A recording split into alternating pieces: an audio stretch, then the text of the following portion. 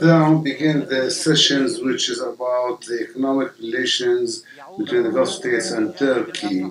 Exchange, economic exchange is useful for both sides and can be seen as a way of reinforcing peace and exchanging of interests. The Turkish Gulf uh, trade has been developed during the past uh, 10 years by tenfolds, and it is more than 16 billion dollars worth. and investments uh, during the past six years have increased 32 times to be reached two billion dollars, and uh, and this, uh, uh, we will have with us in this uh, session Mr.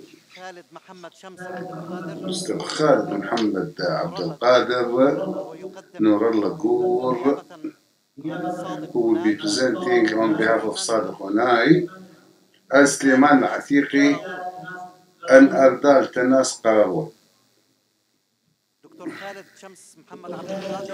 Dr. Khaled Shams Abdelkader is Dean of the College of Administration, University of Qatar, and in the past he was head of Department of Finance and Economy in the University of Qatar until 2013.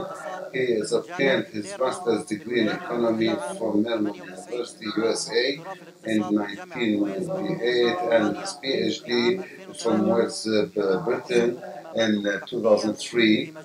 His uh, research interests are in several fields such as uh, uh, risk management, banks, uh, shares, uh, Gulf Currency and uh, Labor Market in the Gulf, and he was advisor research in different institutions such as the Emiri uh, office at Qatar Central Bank and Rayyan Bank. Uh, Mr. Nurullah is an economic researcher who has obtained his, uh, uh, his uh, master's degree from Marmara University in 2006 uh, and 2008, uh, and his PhD 2012, and left Turkey in 2013. He works at the present time as a faculty in the University of Istanbul.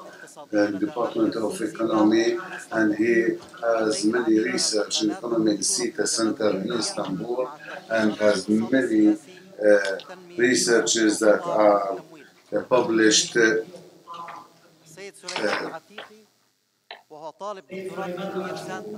Mr. Suliman Atiqi is a PhD student in Oxford University and a researcher in Gulf state countries. And he is the head of the committee on the Oxford Forum for Studies about the Gulf and Arab Peninsula and uh, editor-in-chief of Gulf Affairs magazine. He used to be an analyst in United Nations Development Program and was in charge of the research program called Obstacles and Opportunities and was in charge of the work of the program, obtained his master's degree in psychology, social and political psychology from Columbia University, and master's degree uh, specializing in international relations in Florida University. Finally, last but not least, Gold is a professor in the University of Ankara and teaches in different levels of university and obtained his master's degree from Connecticut University, USA, and a PhD from York University. Focuses in his researches on economic development and economy of development and economy of uh, uh, uh, energy and perspectives uh, in Turkey. He spent many years in the Center of Political and Economics Research in Ankara and has many researches uh, and has many uh, and he uh, exchanges information. معادلة الطاقة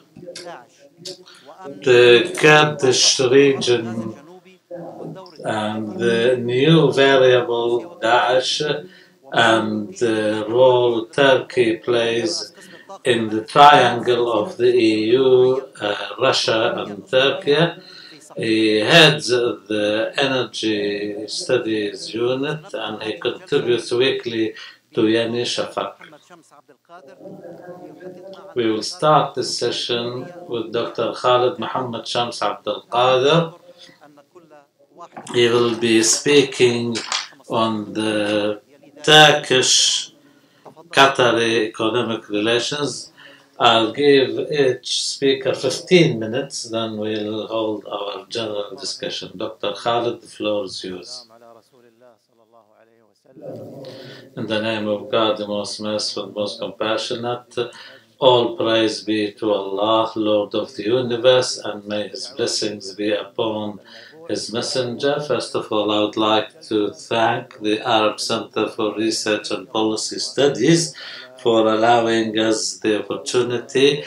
I thank the moderator of this session and I welcome all our guests.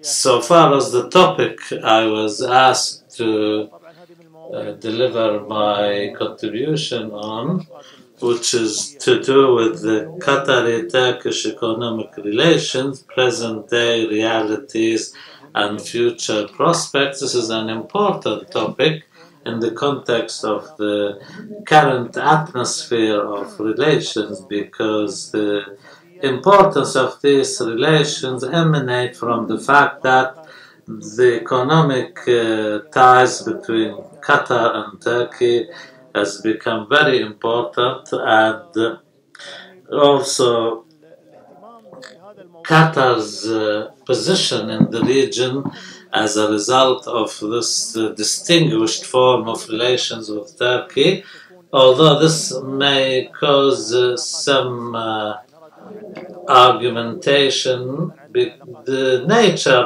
of uh, economic relations, they should either be harmonious with uh, political relations, as is the case sometimes. On other occasions, we see countries with strong economic ties, but uh, when it comes to political ties, we see that uh, they are less uh, strong.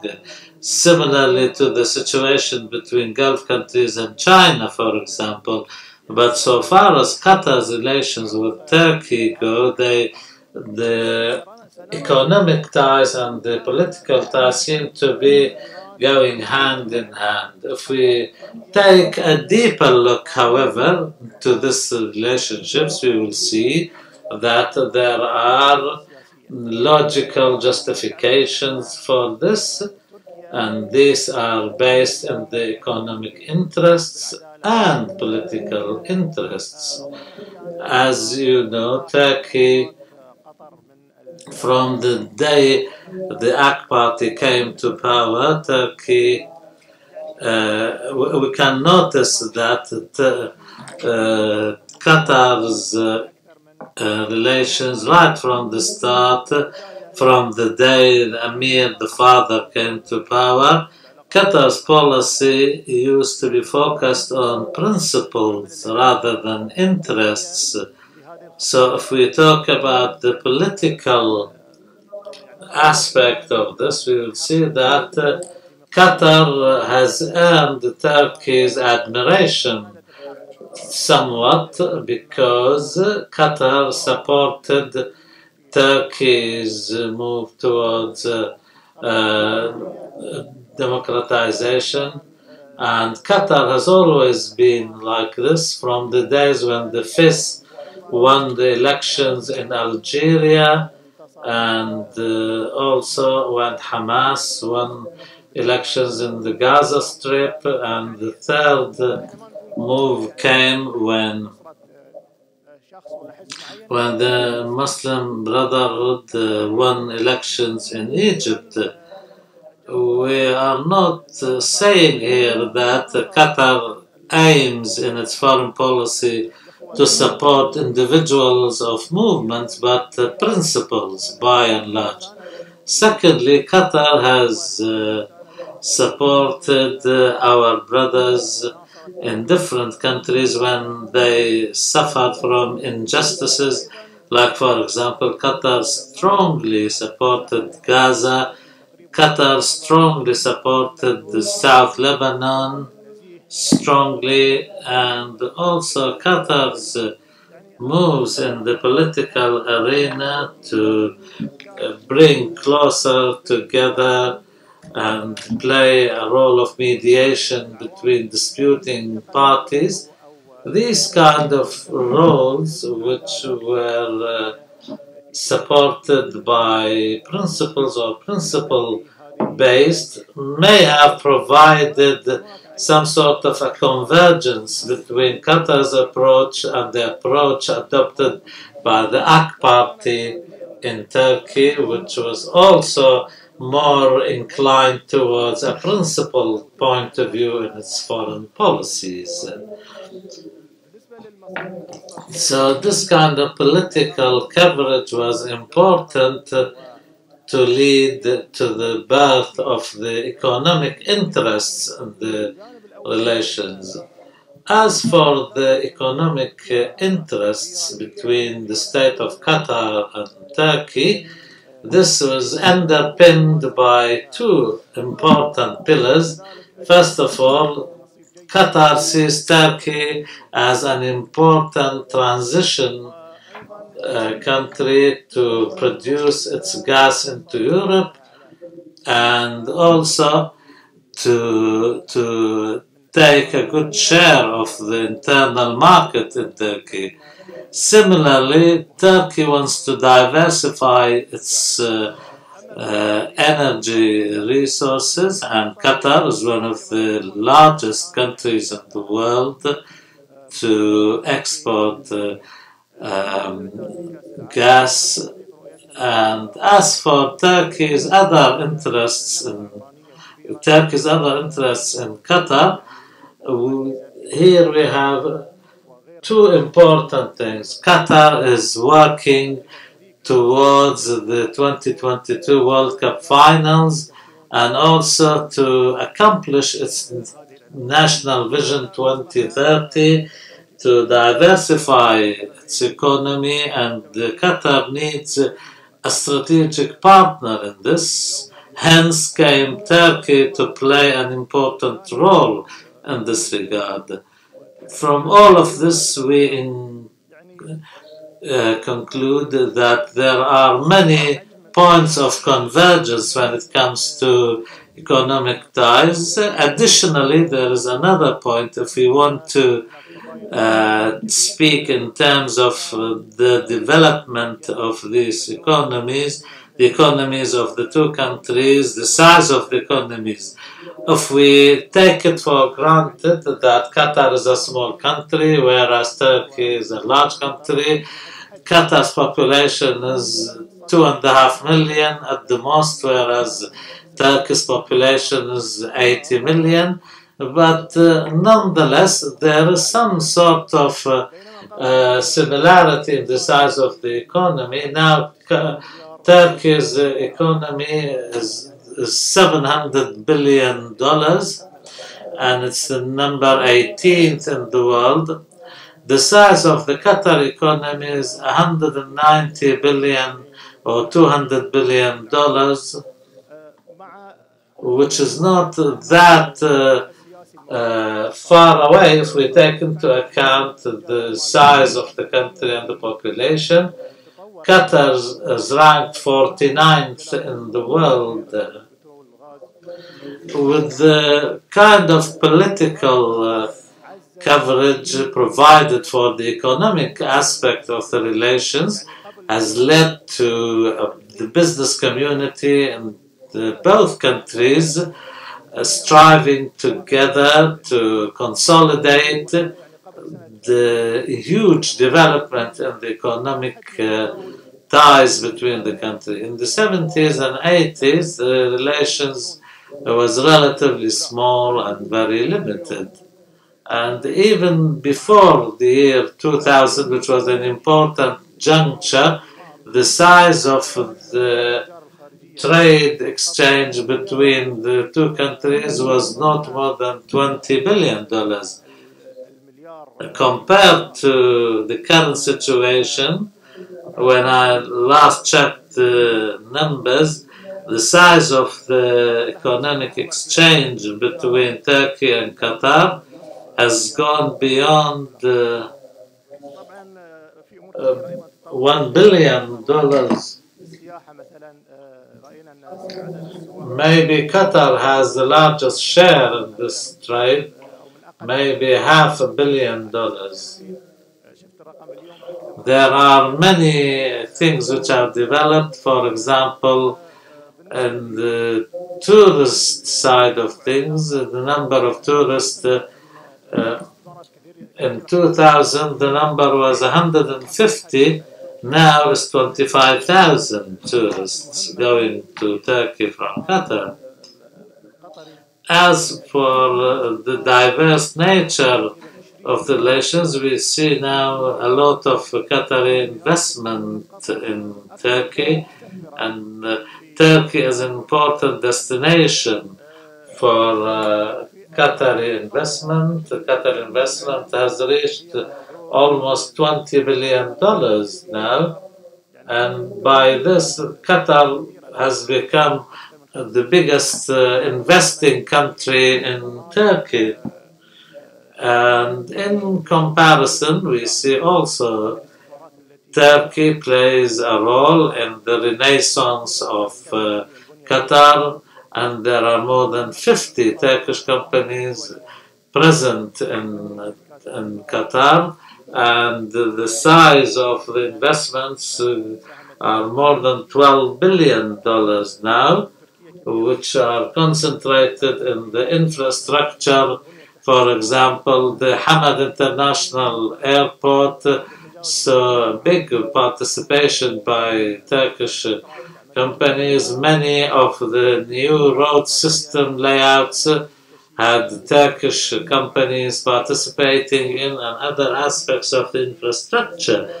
We have more than 8,000 Turkish uh, people working in Qatar in different economic sectors, uh, mainly in the construction and services sectors.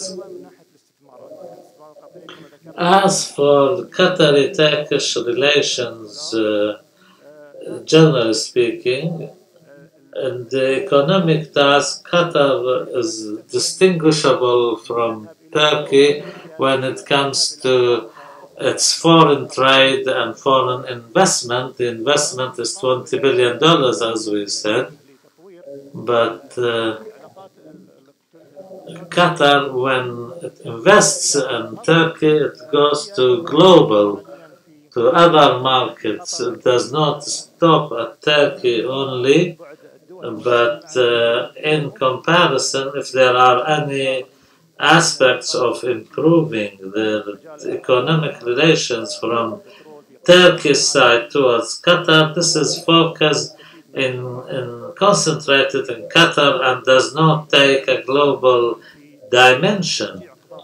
But maybe there can be some sort of uh, mutual engagement or partnership in investing in petrol and gas or establishing the kind of industries that can benefit from Turkey's experience in diversifying the economy or expanding the export market for Qatar from uh, for other goods other than petrol and gas.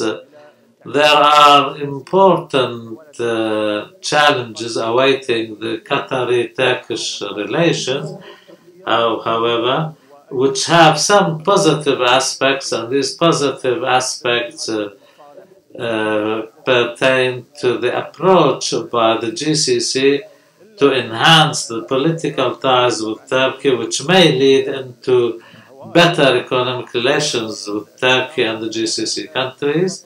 And of course, Qatar uh, has precedence in this. If the general uh, GCC relations improve further with Turkey, then Qatar will have uh, achieved the precedence in this regard because we in the Gulf now uh,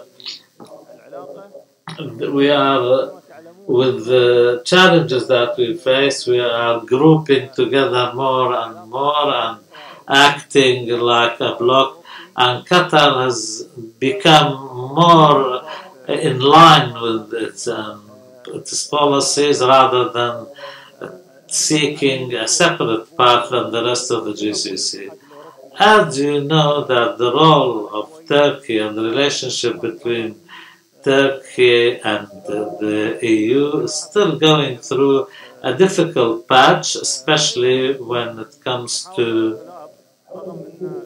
the lack of clarity and ambiguity in accepting Turkey's membership on the side of the EU, which is confusing uh, uh, Qatar's uh, outlook as to to what extent can it consider Turkey as a country of transit for Qatari gas into the rest of the European continent, although Qatar has played a role in supporting the justice and development government in Turkey, but at the same time, uh, Russia came along and took uh, a similar line of supporting of President Erdogan and the AK Party's government. This will places us uh, in a different position, somewhat awkward. Maybe it will put Turkey in an awkward uh, situation. Maybe Turkey will feel more obliged to be nice towards Russia, or maybe Russia will pressurize Turkey not to give uh, Qatar that kind of uh, opportunity to use uh, Turkey as a transitional uh, path for Qatari gas into Europe, and this may constitute some sort of a, an obstacle which will hinder developing relations between Qatar and Turkey. Finally, we want the Qatari Turkish relations not to focus on the relations with the AK party only. We wanted to go beyond in case changes happen in Turkey. We want our approaches to be clearer, more uh, stable and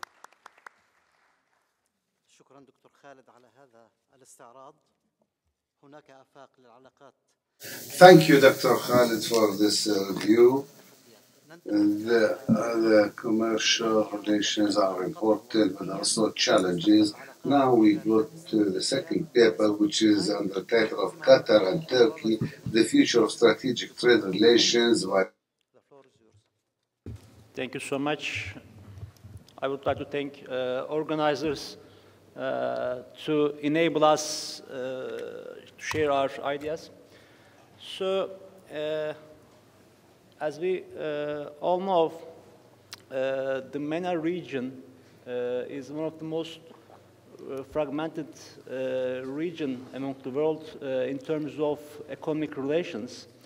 And the relationship between, economic relationship between Qatar and Turkey is not an exception. So the total trade volume between Qatar and uh, Turkey has reached uh, uh, about 1 billion US dollars in uh, 2016. Uh, this is below two countries' potential for sure, but when we compare trade volume between 2002 and uh, 2016, uh, we can say that uh, there is an important development uh, between Qatar and uh, Turkey in terms of uh, economic relations. Uh, the main reason is Turkey's seeking its trade partners after 2002. Uh, before 2002, uh, Turkey had mainly focused on European countries to trade, but uh, when uh, AK Party government uh, comes, uh, it wanted to diversify uh, its trading relations. So, uh, as a part of that, uh, Turkey and Qatar relations, relationship between uh, Turkey and Qatar uh, has improved. Uh, at 2002, total trade volume between these two countries was about 25 uh, million uh, American dollar. But as I said, uh, today it has reached uh, $1 billion. So it's a good development, uh, but it's still below uh, expectations and it's still below uh, two countries' potential. So the short term target will be to increase total trade volume to uh, $2 billion dollars, and the medium and the long term uh, target will be to increase total trade volume to 5 billion uh, US dollar.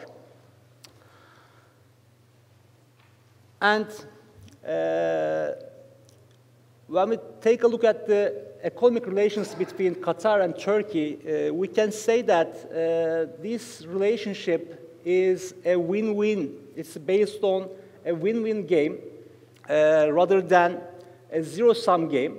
So this indicates that it will be more easy to develop uh, economic uh, relationship uh, further. So uh, Qatar mainly imports uh, from Turkey iron, steel, uh, electrical equipment, uh, furniture, uh, textile products, and food. Uh, on the other hand, as you uh, all know, uh, Turkey uh, mainly imports from uh, natural gas uh, from Qatar. And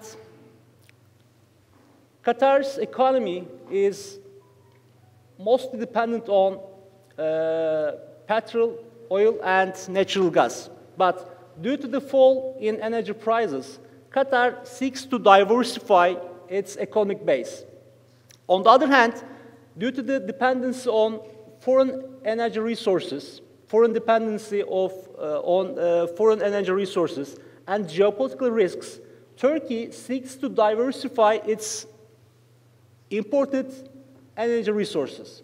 So both countries uh, try to diversify, uh, both countries have diversification targets. And if these two countries can cooperate, uh, they can achieve these diversification, diversification targets uh, more easily. Uh, what they should do, uh, first of all, Turkey and Qatar should work more on long-term uh, natural gas agreements. So there are some steps uh, in this issue, but we have to work more on this. Uh, at the same time, both countries can make joint investments in underground natural gas storage uh, plants. These underground natural uh, gas storage plants will be both beneficial for Turkey and Qatar as well. Uh, Turkish automotive spare parts manufacturers import aluminium from uh, Qatar, uh, and this means that Tur uh, Turkish and Qatari companies can make joint investments in aluminium and automotive industries.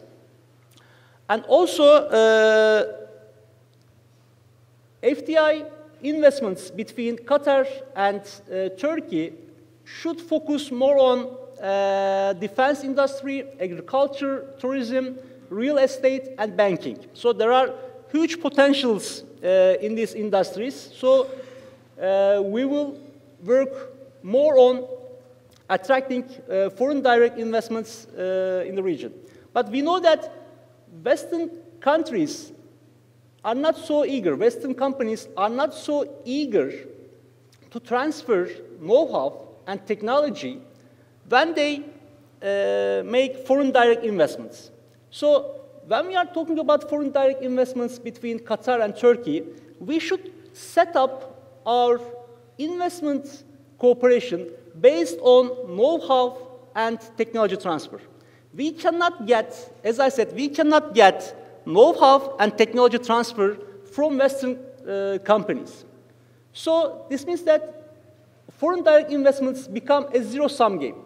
In order to make foreign direct investment a win-win game, uh, Qatar and Turkey uh, should work on uh, know-how and technology transfer uh, regarding the foreign direct investments. And Qatar uh, is highly dependent on uh, imported agricultural products, uh, and agricultural industry, agriculture is a crucial sector in Turkey. But unfortunately, mostly due to the lack of technological investments, Turkey cannot fully uh, use its agricultural capacity. So this means that Qatar can invest in promising agricultural areas and agricultural companies in Turkey. This will be beneficial for Turkey to increase its agricultural export, and at the same time, this will be beneficial for Qatar to reach agricultural products uh, with a more cheaper way. So agriculture uh, will be a strategic uh, industry, a strategic sector for both sides. And we know that Qatar wants to reform its health system to increase the quality of the health sector in Qatar. According to one uh, survey, according to the results of one survey, 43% of Qatari individuals would prefer to go abroad for serious health problems.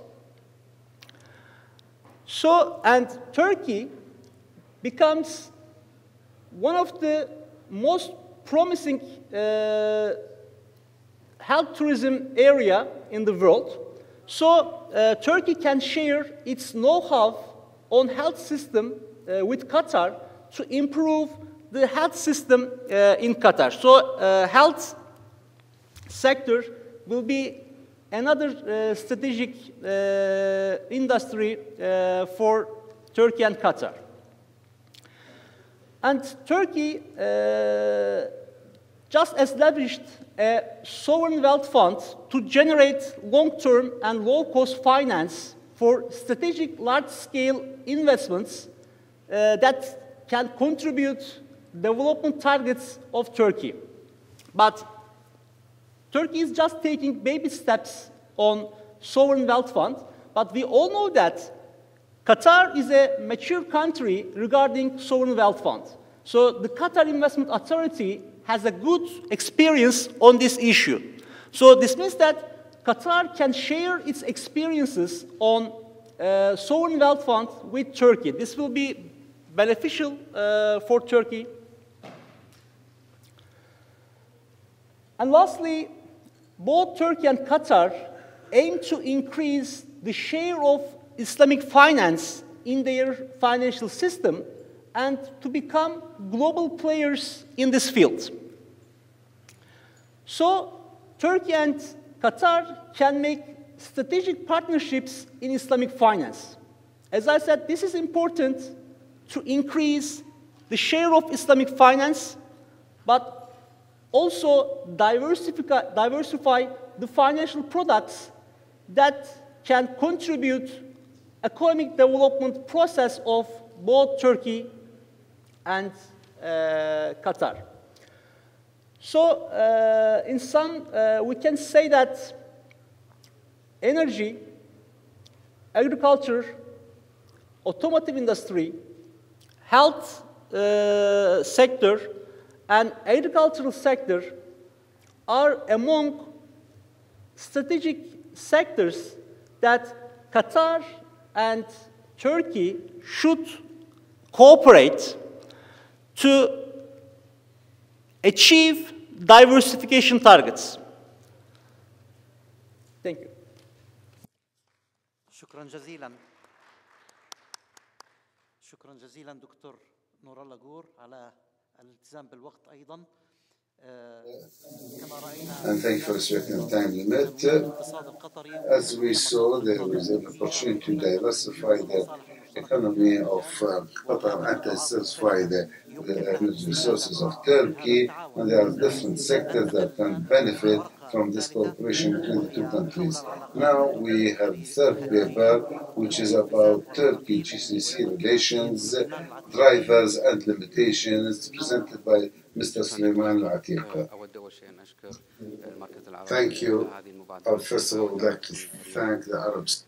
Um, my interest in uh, uh, Turkey-Gulf relations um, stemmed from the high-level strategic dialogue that uh, was uh, initiated in 2008. And ever since, uh, and this is a, a, very unique mechanism, it does not exist between the GCC as a council uh, with any other uh, country. So start, uh, so my uh, starting point on this topic and interest goes back to look at how did this relationship develop historically, and um, why was the what were the, how did this relationship evolve, um, and why was it not in place? So um, I will try and give a context, uh, focusing a little bit on the earlier economic cooperation uh, between Turkey and the Gulf states, uh, to give some context um, on how this relationship developed uh, into where it is today. Um, so it's noteworthy first to start that historically Turkey and the Arab states in generally, more generally, have not really had uh, good relations uh, throughout the 20th century. Uh, starting, you know, this goes back way to the starting of the breakup of the Ottoman Empire, and there still remains um, some uh, misperceptions uh, uh, on what happened then, and uh, this leaves a bitter taste even until today. You see it popularly when you speak to people. So in general, Arabs, of course, pointed to Turkey's Western orientation and lack of interest in Middle East and Islamic affairs. Examples uh, include their involvement in NATO and the pro-Western Baghdad Pact. Uh, in addition to uh, recognition and positive relations with Israel, becoming, of course, uh, the first Muslim majority country to recognize Israel in 1949. So the Arabs were also uh, not uh, uh, pleased with Turkey's involvement in the Algerian War of Independence, where they voted or abstained against UN General Assembly resolutions that were in favor of Algeria. So between World War II and uh, the 1960s, Turkey was at its most pro-Western uh, period. So uh, what I think is uh, perhaps the earliest event we can actually point to in which Turkey and the Gulf states um, you know, started working a little bit closer together was uh, in 1973.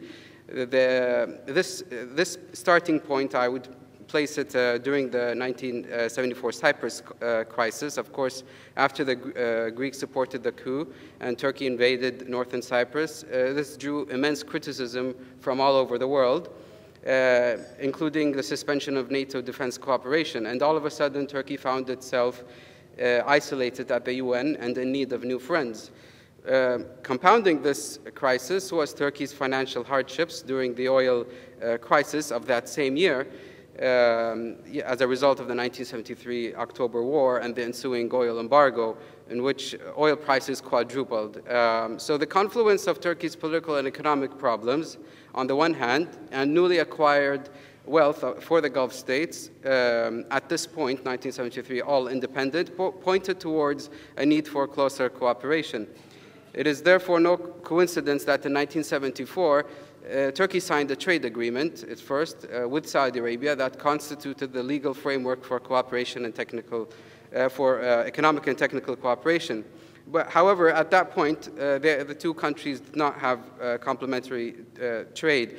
Um, Turkey at that point was not, not yet export oriented but it did lay some foundations. Uh, so at the, the, economic interactions at this stage were mostly politically motivated, I would say. In the same year, Turkey contributed to uh, the budget of the Organization of the Islamic Conference, and they also participated in that conference at a ministerial level. And they invited the Cypriot Turkish leader to participate um, in that conference, and there was a sympathetic joint communique. Uh, also, Turkey in, that, in 1975 ratified the, char the, Charter of the Organization of Islamic Cooperation.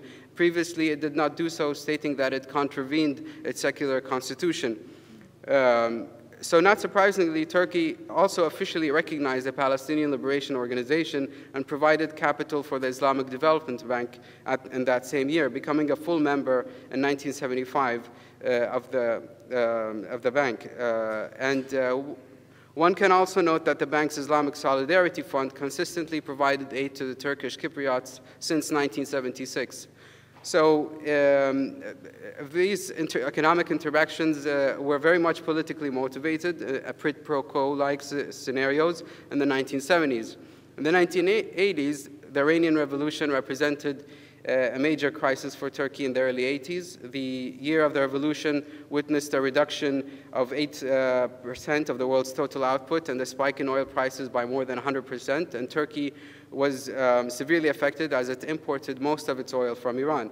The domestic scene was characterized in Turkey by fuel shortages, high employment, and disruption in public services, which resulted in the 1980 coup. So the outbreak of the Iran-Iraq war was a, caused a relapse um, in the conditions, and this led to an emergency contract to import oil from Saudi Arabia and Kuwait. And in that same year, a $250 million loan was also agreed to during that year. Incidentally, more than half of the amount was delivered a day after Turkey had downgraded relations with Israel, uh, that year, of course, Israel uh, was pa passed its Jerusalem law that declared the holy city as its capital. So it was very much Turkey susceptible to uh, pressures from uh, the Muslim world, especially the sensitive ones. Now, in the 1980s, owed uh, to Turkey's export-driven economic liberalization and reform agenda, they witnessed an expansion of Turkish construction projects towards the Gulf. By 1983, they amounted to $13 billion, and uh, more than a tenfold increase uh, uh, from the previous decade. In the mid-1980s, trade agreements were extended to all the remaining Gulf Cooperation Council states.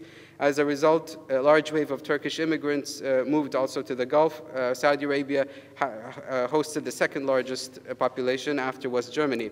In the financial sector, we see Prime Minister uh, Ozal playing a role in introducing interest-free products and services with both Saudi capital and Kuwaiti capital uh, with the establishment of Al Baraka and Kuwait Turk uh, in uh, 84 and 89 respectively.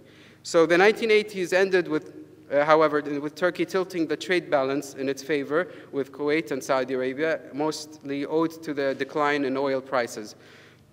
Uh, the early 1990s took also a positive turn when Turkey participated um, um, in the liberation of Kuwait. Uh, they made notable measures, including the closure of the Iraqi pipelines and uh, stationing 135,000 troops along the border. And they also allowed the US and the British to uh, launch attacks from the Incirlik base.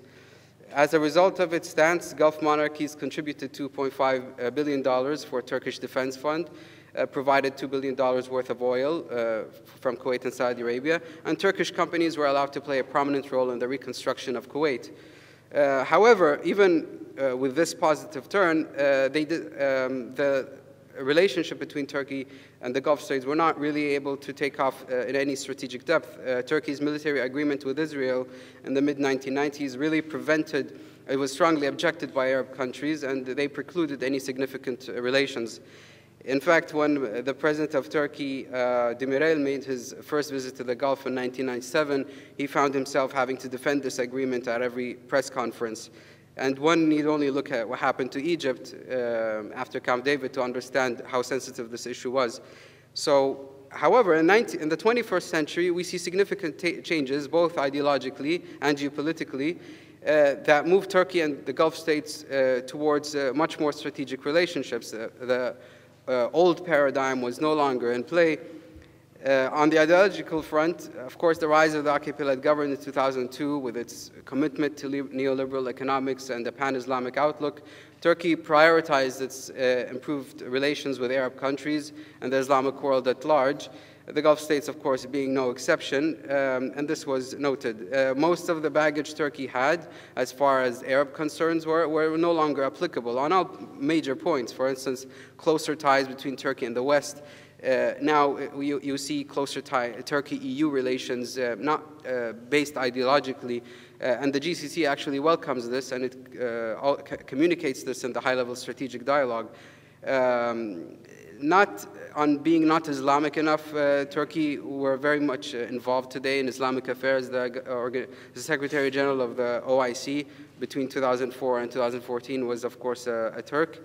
And on the Arab-Israeli um, um, uh, conflict, Turkey, of course, took a much harsher stance towards Israel, and this has been very popular with a lot of Arabs.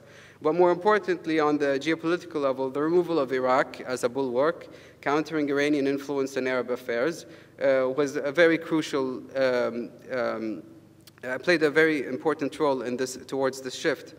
the, the GCC states were still, even though uh, they were at odds with Saddam Hussein, they still saw Iraq as an important linchpin of their containment strategy against Iran. And um, they actually opposed the US-led invasion to a certain extent, especially at the beginning, maybe with the exception of Kuwait. And in the context of the Arab Spring, this has become even more pressing because Egypt was no, uh, the other strong country that was um, um, that the Gulf states relied on to counter Iranian influence was a weak state. So the, conver the convergence of these factors made Turkey a natural successor as a strategic populous uh, Sunni partner in the region that could compensate for traditional regional bulwarks. So what do we see during this time period? Uh, what I uh, refer to in a recent paper as uh, institutionalized relations between 2003 and uh, uh, start, between in this period. For, this started in the landmark Economic Cooperation Framework Agreement that was struck in 2005, uh, which laid the foundation for a series of agreements. Uh, chief among these were the Reciprocal Promotion and Protection of Investments Agreement, uh, the Avoidance of Double Taxation Agreement, and also, but also uh, central banks of Gulf states and Turkey's banking regulation were also coordinating and struck a few um, um, uh, MOUs which facilitated greater, greater investment. So a range of, uh, this, these provided the basis for sustained increases in trade between Turkey and GCC states. If you have a look at the economic and investment figures from 2003, uh, since the arrival of the AKP-led government uh, until today, the changes are very staggering. In 2002, right before AKP uh, government took over, the trade volume between Turkey and the Gulf states was at uh, only $1.5 billion, and in 2014 it was $16 billion. And similarly, uh, if you look at uh, foreign direct investments, a mere $5 million in 2002, very negligible, and um, in, uh, compared to $1.9 billion in 2008. Uh, and this is very much facilitated by uh, certain uh, an, an, institutionalization of relations, especially on the economic front. I know Dr. Shamiri mentioned earlier uh, the lack of these, but I think these are, and I think he's right, but I think these are mostly on the political uh, level, but not on the economic level. Uh, to put in perspective, um, in 2012 and 13, uh, FDI amounted from the Gulf states amounted to a tenth of Turkey's uh, inward FDI coming from the Gulf states. And the culmination, of course, of these ties came in 2008 with the high-level strategic dialogue, which uh, I mentioned, and um, strategic uh, and specialized committees uh, um, included trade and investment, energy, tourism, agriculture, food security, economic, financial, and monetary issues. Um, so of course I want to caution that the Arab Spring obviously brought to the fore some fault lines. It's not like it's one big rosy uh, picture between Turkey and the Gulf states. And uh, especially I would say uh, the UAE had uh, a lot of objections. We hear about the cancellation of, the, uh, of an agreement, a $12 billion uh, planned thermal pl power plant investment in Turkey that was canceled. But if you really look at it, in fact, if, and, and, also the free trade agreement was, you know, was, at least as some diplomats will say, is being held up by the UAE. But if you really look at it, the economic relations show, re show resilience. Uh, Turkey and the, are, are, and the UAE are the major economic um, uh, trading partners, and uh, the UAE is the second highest in the Arab world after Iraq. 3% of Turkey's exports go to the, to the UAE. So um, I would just conclude by saying, um, you know, there are also interesting emerging, emerging sectors, especially in defense. Um, the Gulf states ranked among top 10 uh, export markets of Turkey's defense industry, and by 2012 represented 25% of its defense exports. And of course, Turkey um, has uh, numerous MOUs, most notably with Qatar, which I will not talk about because we had a brilliant, uh, in-depth uh, discussion on that in the previous panel. Uh, I would just leave maybe with a final thought that, you know, over the past 10 years, we see the emergence of Turkey as a major regional power over the last decade. Um, and uh, especially in the post-Arab Spring, people are starting to look at, you know, the Gulf as um, uh, a major power in Arab affairs, especially in the absence of a strong Iraq, Syria, and Egypt. So one may refer to it as, you know, somewhat of a Gulf moment in the, in the Arab world. So what I wonder is whether the next 10 years we will start to witness a GCC Turkish uh, moment in history or whether current levels are the zenith of this relationship. And I uh, look forward to hearing uh, your views on this. Thank you. Thank you, Mr. Atiqi. As we saw, different agreements that can reshape the strategic aspects of the relations between Turkey and the GCC and push them forward, but there is still a need to bypass some political and historic obstacles. Now we will speak of the role of energy. Dr. Erdal Tanas Karagöl. Thank you, Mr. Chair. Uh, before my speech, I really thanks to Arab Center for this uh, invitation and for these events. And uh, my second visit, uh, let's say, to Qatar, I came the fir my first time was uh, in May in this year. In this means that in uh, six six months I came twice in this country, and uh, I like this country because we need to come this uh, country or come this uh, region. And the issue of the energy supply security has uh, become a concept closely associated with economy, foreign policy, and uh, global stability. It's fact that there is a growing interdependence in the energy field, and this phenomenon boosts the importance of the energy relation among the countries and, and region as well. Turkey is an energy-dependent country Turkey uh, imports 70% of the energy from the outside. But Turkey is geographically located in close proximity to more than 70 of the world proven oil and gas reserves. Turkey neighbors important energy suppliers, countries such as Russia, Iran, Azerbaijan, Iraq, and uh, the other uh, Eastern Mediterranean countries. And Turkey also neighbors important energy buyers like countries in Europe continent. And this strategic location provides crucial or important advantage, advantage to the Turkey. Turkey is viewed as a natural co corridor between newly emerging energy sources and energy-hungry and industrialized Western economies, sharing borders with many of the oil-rich countries and being in the same neighborhood with so many other natural giants, Turkey is trying to develop an energy policy customized for its needs.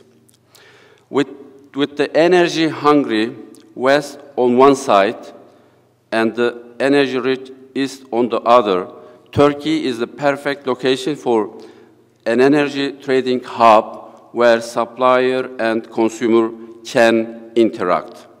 As you know that Turkey has failed over years to use the advantage of the being a natural energy hub owing to its geographical location and to become a regional actor in energy. Therefore, providing energy supply security and bringing new investors into the Tur Turkish energy sector are among the priorities of the Turkey so as to achieve its economic goals. Turkey stands as a key country in ensuring energy supply security through diversification of supply sources and routes, consideration that have gained increased significance in today's Europe. In the recent years, Turkey starts to play important role in energy supply security by being part of the energy projects such as Southern Gas Corridor, TANAP, and Turkish Stream. Natural gas become a key energy source. Turkey sitting on the natural gas road from north, east, and south. Thus, Turkey does not wish to be regarded as a transit country like Ukraine, Turkey also as a natural gas consumer country aims to lower the cost originating from natural gas price when all gas project becomes operational. With rea realized and the other new projects, Turkey wants to become an energy hub state in the energy. However, firstly, uh, we should uh, indicate that there is a there is difference between energy transit state and energy hub state. This should be understood properly. The energy hub is a country that buys energy in its borders and then re-export them to the other uh, purchasers. And in doing so, it sets the selling condition, conditions independently from the original producers and final buyers. Another component of the energy hub is the bigger infrastructure that is constructed for the production of the petrochemicals for exports and for the natural gas, gas storage uh, terminal for LNG and pipelines. On the other way, an energy transit state refers to a state where the energy pipelines are laid to connect an energy producing state with an, with an energy consuming state. On the other hand, Turkey's, Turkey's relations with the Gulf states have uh, significantly improved under the uh, Justice and Development Part, AK Party, in the last 15 years. The arrival of the AK Party to power changed the negative Im image of the Turkey in the eyes of the important actors in the Gulf region. Under the AK Party, Ankara gave up the, the traditional policy of the being neglect toward the Arab Gulf, Gulf in the favor of the policy of the active engagement. This was a welcome development for major regional actors such as Saudi Arabia and Qatar. Why not for the other Gulf countries? According to the statistics, 30% of the world oil reserves and more than 20% of the world natural reserves are under the control of the six states comprising the Gulf uh, GCC, GCC countries, Bahrain, Kuwait, Qatar, Saudi, Arabia, uh, Oman, and uh, Arab Emirates. The total primary energy production increased clearly in the GCC countries during the last uh, fifth, uh, decades. And uh, Saudi Arabia is considered the second largest total petroleum and other liquid producer behind the United States. During the last 30 years, the total primary energy production was doubled in the GCC countries, and in some countries like Qatar, the production in 2015 is 10 times that of the 90s, 1980s.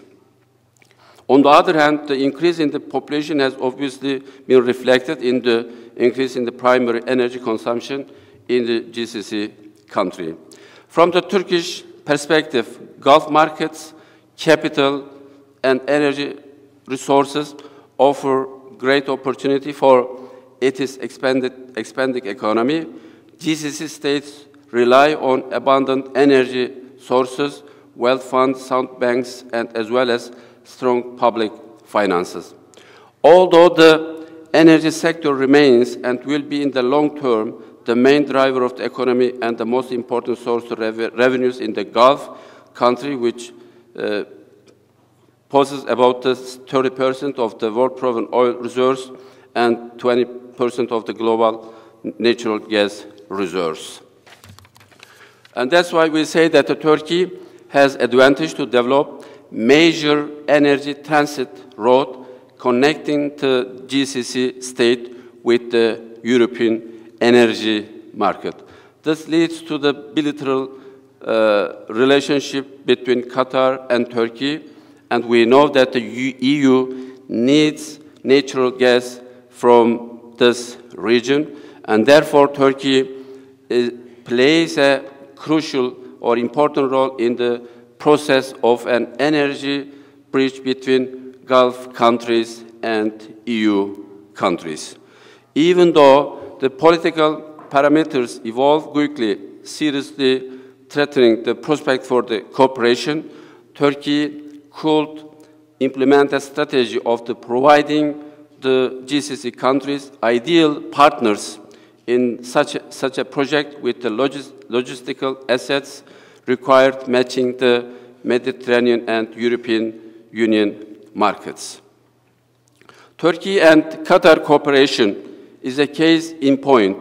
Qatar longs to, to, to be the most promising partner for the Turkey energy projects, especially with the LNG. And Turkey imports 1.7 BCM of its LNG from Qatar. Qatar is the most, most exporting country of the LNG in the world. And also Turkey wants to increase the number of the countries from which it imports LNG. For that reason, Turkey state-owned energy company BOTAŞ signed a preliminary agreement with Qatar's national petroleum company to, per, to buy liquefied natural gas or LNG over the long time period. And that's why we are saying that Turkey is very dependent on foreign sources of the fossil energy, and it has to import uh, 98 of the natural gas and about 90% of the oil it consumes. Furthermore, Turkish imports of the crude oil and natural gas mainly came from Saudi Arabia, Iran, Azerbaijan, and Russia. Coming in addition to an unstable regional environment, dependence on the restricted number of the suppliers implies a long, long-lasting tendency for price to rise and further push Turkey towards the diversifying its supplies. Turkey is new Silk Road energy, in addition to being a natural energy corridor and transit, Turkey has a great ambition to become a trading, uh, a trading energy hub. Turkey's geographical situation is an important factor uh, between the Europe, Central Asia, and Gulf and Middle East. And that's why we say that this, this, this role is used as a, an argument to impose the country as a secure energy hub for transit, transit and re-export of the energy commodities. To make it is possible, Turkey has tried to complete its liberalization process in gas market, tried to expand gas storage and pipeline network. Additionally, Turkey is always ready to foster and participate in new opportunities with regard to wealth and wellness of the region, and thus, thus GCC countries or Gulf countries are important for cooperation in this region. We expect all Gulf countries or GCC countries are participate the new Silk Road of the energy. Thank you.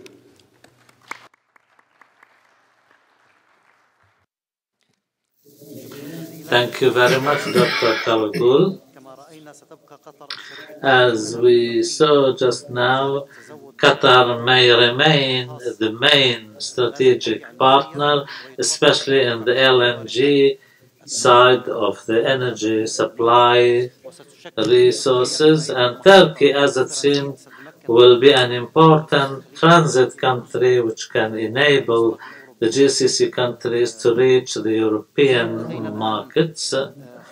We have 15 minutes left of this session, and please uh, have your questions ready. Be pointed in your questions and avoid long comments. In the name of God, the most merciful, the most compassionate, my question is to Dr. Khaled. He spoke about a partnership between Qatar and Turkey of 20 billion dollars. We know that uh, after the failed coup attempt in Turkey, don't you think that Qatari investments in a country like Turkey after this failed coup is some sort of a misadventure, a risk?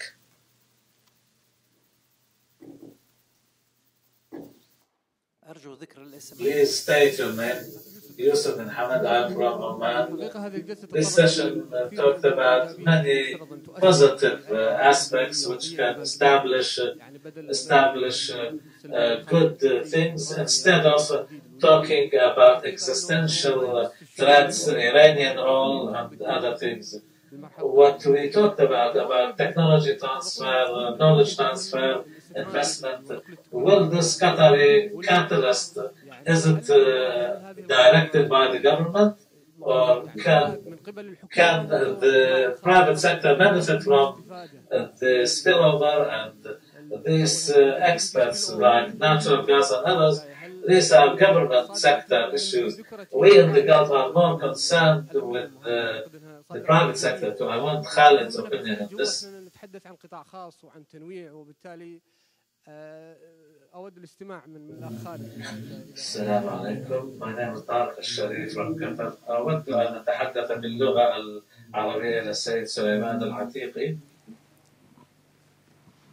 شكرا السلام عليكم ورحمة الله معكم طارق الشريف من قطر Uh, I'd like to impose my question in English to Mr. Suliman Al-Atiqi. Um, you've discussed about the diversification of investments and relations between Qatar and the GCC, sorry, Turkey and GCC. And you've mentioned about the importance of how the diversifications reduces the risks. Having said that, um, Turkey as a destination for investments, there seemed to be a lack of alignment with the um, local media and how the Turkish media represents the nation outside in terms of welcoming investors and welcoming, let's say, tourists and how they want to undergo their their global strategy in terms of investments or um, tourism, like health sector or energy and whatsoever. So, to what extent do you think the Turkish media should be reformed to be a more of a prominent um, dialect, but let's just say, or a, a, a prominent position to to welcome more investors and to welcome more, um, at least on an individual matter, on people feeling more comfortable, more informed to come to Turkey and to invest. Thank you.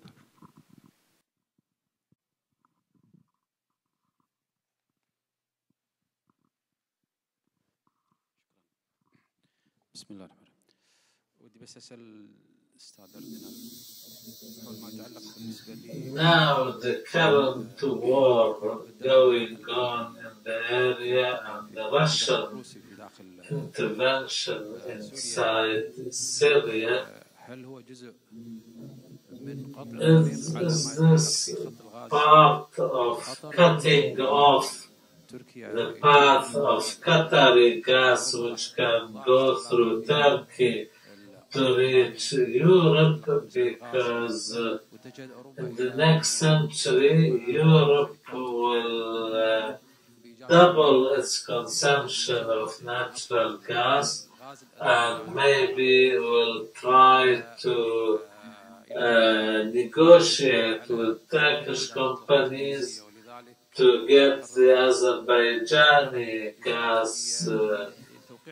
through Turkey and to Europe, therefore cutting off the Russian supply line. So the Russians made a strategic move to sign the agreement of top stream gas.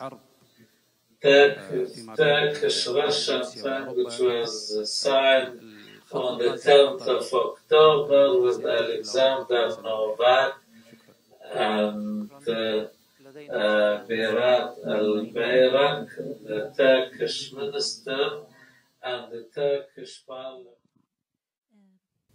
ابتهال الخطيب من Kuwait. My question is to um, Mr. Suliman Al-Atiqi. Um, you pointed out that um, um uh, 1973 was a starting point of working together between um, uh, Turkey and, and the GCC countries.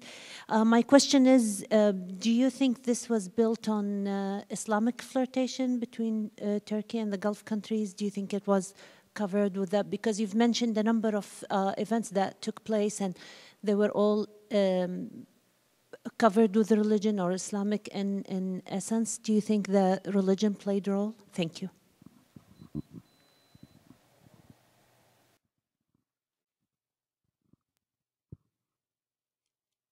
حسن جوهر من الكويت أيضا Hassan Johar from Kuwait. Uh, following the previous session and this session, I want to propose here uh, a problem that I hope uh, the panelists can explain to me, and that is the contradiction between political behavior and economic interests.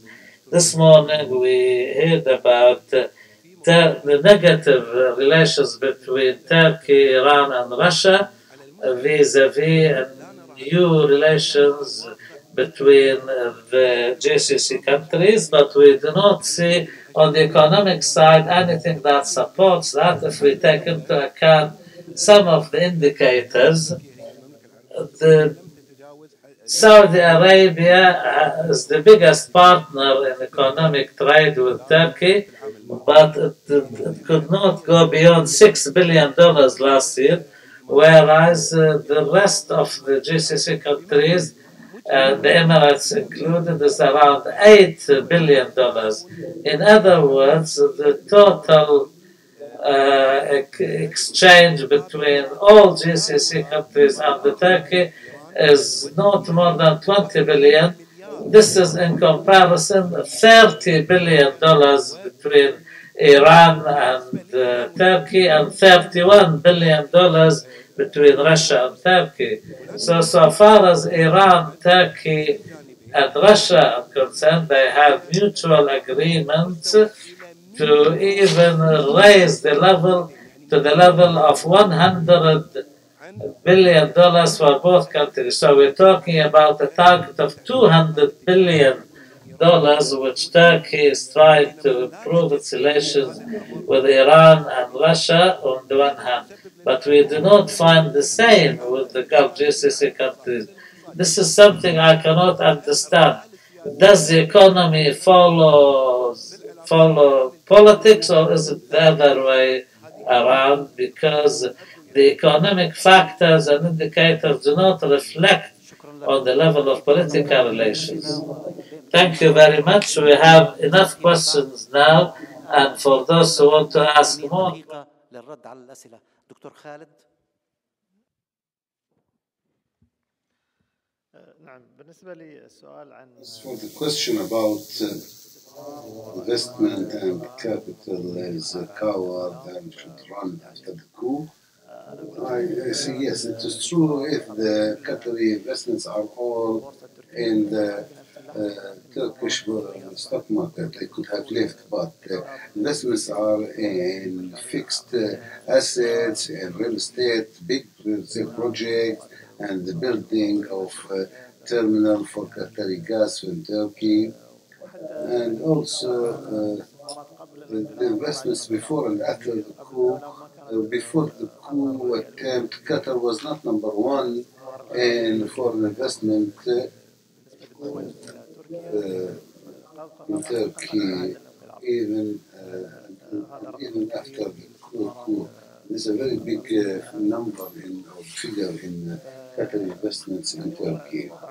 So the situation of Turkey and uh, and its strategic position uh, and the, between the East and the West, it has always been the road to uh, commerce between the West and the East. So Turkey, maybe the coup, the that the coup was a surprise for, but uh, uh, Turkey's return to stability will bring up this topic again because Turkey can always be or remain stable. And I think the other countries will uh, pay attention to the fact that uh, Turkey will make a lot of investments in stability. As for the private sector, it is true that we as GCC countries, all our activities are, are made or driven by the government, uh, mainly. That's why the relationship between Turkey and Qatar is very much dominated by the government of Qatar in the form of Qatar's investment authority and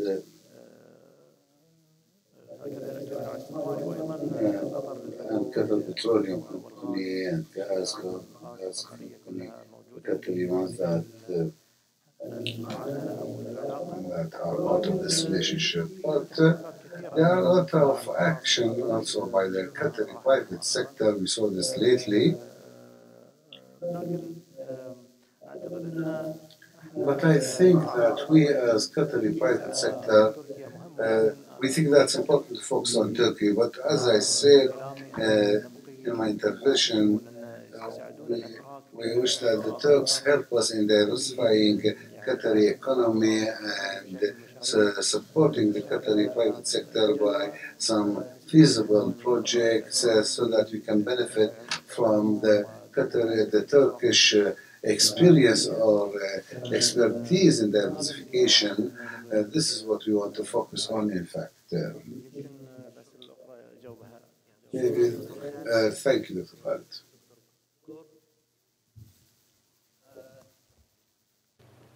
In order to attract uh, more FDI uh, from Qatar, I think uh, government uh, has been uh, making important reforms uh, that reduce bureaucratic regulations. I think this is, first of all, is important. Second, I think government agencies, especially investment agencies, should give more information about potential invest, investment areas in which uh, that uh, Qatari investors will be interested in.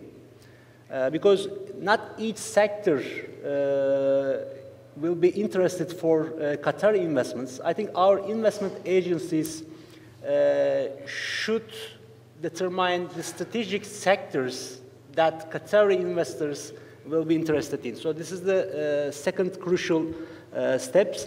And lastly, uh, I think Turkey should ease uh, the obstacles uh, that make it harder to get banking uh, license. Uh, this is especially important for uh, Islamic finance. Uh, if the government uh, and uh, other, age, other institutions, other economic institutions, ease uh, these obstacles uh, that limit to get uh, a banking license, I think uh, a co- uh, cooperation related to Islamic finance uh, will increase. There will be more Qatari uh, banks uh, that make investments uh, in Turkey. I think this is the uh, third crucial step. And for the question which is related to Qatari investments after the coup attempt, uh, none of the Western companies uh, exit uh, from Turkey after the uh, coup attempt uh, because uh, there is no reason to do that. Turkey is an important investment hub, so investors always earn money from their investments in Turkey, and economic institutions operate with uh, their full capacity after the coup attempt. So there is no uh, need to think an exit uh, from Turkey. So I think uh, this is not a good strategy uh, for, for Qatari investors. Thank you. Thank you. Uh, Mr. Atiqi, and please try to be short. Addressing the first question on tourism, uh, this is um, a very interesting uh, sector. Um, it is uh, one of the growing, uh, the fastest growing sectors in Turkey Gulf relations. However, given the small percentage of Gulf citizens, um, they, they only constitute about uh, 5% of uh, Turkey's um, income when, from this uh, particular sector. But we still see uh, a lot of uh, sh- uh, shifts in uh, marketing strategies uh, within Turkey. Today you can go to any bazaar and you'll be speaking in, in Arabic only. Uh, but also in uh, the health sector as well. You can, uh, a lot of these uh, websites, if you survey them, they all have Arabic language, they all have representatives who will speak in Arabic, and they're learning this very quickly. And also, um, uh, if you look at um, Turkey has made uh, understands its soft power in the Turkish soap operas, etc., and they've even used some of these figures in their advertising campaigns. And there's a large advertising campaign every year uh, uh, targeting GCC countries. So I think uh, the Turks are making a lot of strides in targeting uh, Gulf countries, but also Arabs more generally. Uh, the Arabic language is uh, extremely important. Uh, is, uh, a lot of Turks are learning Arabic and they understand it uh, to be very important for their potential of getting jobs. So I think there is an important shift uh, in this sector. Uh, as for the question on 1973, um, what, what I, uh, I'm not sure if religion itself was uh, a factor, but the old paradigm of um, Arabic politics, uh, issues like the Palestinian uh, cause, the Algerian cause, they were, you know, they had a pan-Arabic dimension, but also pan-Islamic. Turkey uh, at the time was I'm not going to say that Turkey shifted somehow and became more Islamic at that time, but they were making compromises. For instance, uh, they, they used to say that we can't join the Organization of Islamic Conference, we can't ratify this because it's contravened our secular uh, constitution. But then all of a sudden, when they were in, in need, in times of crisis, they make these compromises. They made them uh, because they understood that they were uh, important. They were uh, to the Arabs. They understood in Arab politics, and it's important to note that there's an Arab League consensus at the time, and this Arab League consensus was very anti-Turk at the time. So Tur the Turks had to uh, make these compromises, usually uh, almost exclusively during times of crises. So they weren't strategic relations uh, by any stretch of the imagination. They were very much tactical when uh, they needed it, uh, especially in the 70s and the earlier times. It was only throughout the 80s when there were more sustained uh, economic cooperation, when um, they started moving more um, to, to, to uh, I wouldn't say Islamic, but uh, also uh, this only we only start to see this in 2000 and 2002. But I, I don't think that religion was a very important factor, uh, even even today. Thank you. And Dr. Karagöl? Yes, uh, the Turkey and uh, Russia have agreement on the, the Turkish stream. And the Turkish stream in this stage uh, only uh, transferring gas from Russia to Turkey, not to European country. Uh, on the other hand, we know we, we say that we know that uh, that Turkey is a growing country. Turkey uh, needs the dependency uh, of energy uh, only uh, one, one country, or we have to have diversify all resources, and that's why we need different countries, even uh, not only gas from the pipeline, we need to use the gas from, let's say, Qatar by LNG. Uh, that's why uh, if we say that Turkey is going to be energy hub, and this means that we motivate all uh, sources country to uh, transfer their gas or sources from their uh, country to the uh, Turkey, and Turkey is going to be energy hub if we say that this uh, project uh, are realized. Thank you. Uh, thank you very much. I thank all of you for your patience and attentive listening. I thank Dr. Khaled Al-Gur, Mr. Suliman and Dr. Gal for their uh, presentation. Now I invite you to dinner to lunch. Thank you.